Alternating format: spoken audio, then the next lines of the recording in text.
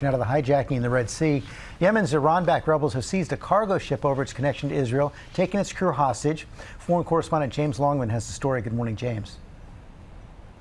Yeah, good morning, George. Yemen's Houthi rebels say they've seized an Israeli linked cargo ship in the Red Sea. The Iranian backed group say that any Israel linked vessel is a legitimate target given the ongoing war in Gaza and what they call ugly crimes in the occupied West Bank. The United States has called this a flagrant breach of international law, uh, and the situation in the Red Sea remains. Uh, pretty serious. This is a ship which was uh, loaded with crew from Ukraine and Mexico, uh, not, however, uh, Israel. The Israelis say that there are no Israeli nationals on board. It is owned, uh, the parent company is owned by an Israeli businessman, uh, and so the world is watching to see whether or not this situation uh, can be resolved. This is not the first aggression by the Houthis, though. They've fired a number of missiles and drones at southern Israel since the, the attacks of October 7.